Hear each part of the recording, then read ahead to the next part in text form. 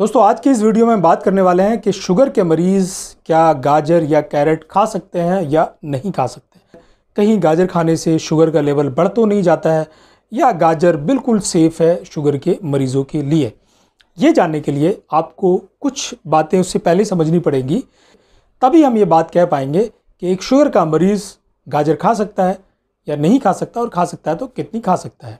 तो आइए समझ लेते हैं पहले इसकी कि इसकी न्यूट्रिशनल वैल्यू क्या है। क्योंकि जब भी आप किसी भोजन की या किसी फल की ये बात करते हैं कि वो शुगर के मरीज़ को खाना चाहिए, नहीं खाना चाहिए तो सबसे पहले आप उसको उसका न्यूट्रिशनल वैल्यू देख लेना चाहिए। गाजर का जो न्यूट्रिशनल वैल्यू है, अगर उसको देखते हैं तो उसमें कुछ पचासी से नब्बे परसेंट तो पानी होता है। तीन से चार ग्राम लगभग फाइबर होता है और कुछ थोड़ी मात्रा प्रोटीन की होती है। करीब अगर हम पचहत्तर से सौ ग्राम गाजर की बात करें तो पाँच से छः ग्राम इसके अंदर नेट कार्बोहाइड्रेट पाया जाता है। उसके अलावा इसके अंदर बहुत सारे विटामिन्स पाए जाते हैं। गाजर को एक बहुत अच्छा स्रोत माना गया है विटामिन ए का, जो आपकी आँखों की रोशनी बढ़ाने का काम करता है।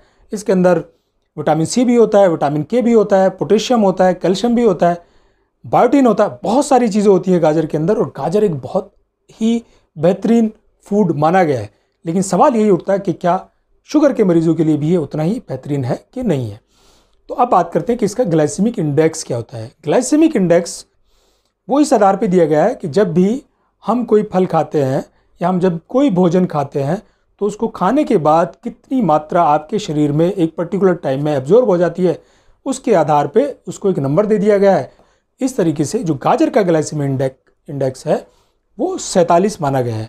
यानी कि गाजर के अंदर जितना भी कार्बोहाइड्रेट होता है वो दो घंटे में सिर्फ़ सैंतालीस परसेंट ही एब्जॉर्ब होता है, बाकी वो धीरे धीरे बाद के घंटों में एब्जॉर्ब होता है या अनडाइजेस्टेड निकल जाता है। तो हमने ग्लाइसेमिक इंडेक्स जान लिया। ग्लाइसेमिक लोड जानने के लिए हमें यह भी पता होना चाहिए कि जितनी मात्रा हम खा रहे हैं एक सर्विंग में तो हम अगर मान लेते हैं कि हमने पचहत्तर ग्राम गाजर खाना है तो उसके अंदर करीब पाँच ग्राम नेट कार्बोहाइड्रेट होगा। तो ग्लाइसेमिक लोड निकालने का जो फार्मूला है, वो होता है ग्लाइसेमिक इंडेक्स मल्टीप्लाई जो ग्लूकोज की मात्रा है उस सर्विंग के अंदर और उसको अगर हम सौ से डिवाइड कर देते हैं तो जो नंबर आता है वो ग्लाइसमिक लोड होता है। तो गाजर का ग्लाइसमिक लोड इस तरह से 47 सेवन इंटू पाँच डिवाइडेड बाई हंड्रेड वो करीब 2.4 2.5 के आसपास आता है तो हम इसको दो मान लेते हैं। इसका मतलब ये हुआ कि जब आप पचहत्तर ग्राम गाजर खाते हैं तो आपके शरीर में दो ग्राम ग्लूकोज ही जाता है।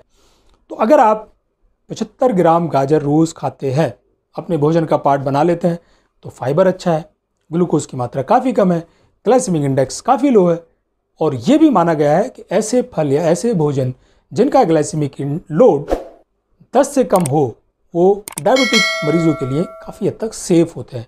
तो आप गाजर बड़े आराम से बिना डर, बिना झिझक खा सकते हैं, इससे आपको फ़ायदा होगा, क्योंकि जनरली डायबिटीज़ के मरीज़ों की आँखों की रोशनी कम होती है, और अगर आप गाजर खाएँगे तो आपका विटामिन ए बढ़ेगा। तो अगर इस कारण से आपकी रोशनी कम हुई थी तो उसमें आपको फ़ायदा मिलने वाला है। उसके अलावा इसमें काफ़ी मिनरल्स और विटामिन जो दूसरी चीज़ें हैं माइक्रो न्यूट्रिएंट्स जो हैं, वो भी आपको फ़ायदा पहुँचाएँगे। तो गाजर एक अच्छा भोजन है आपके लिए डायबिटिक पेशेंट्स के लिए।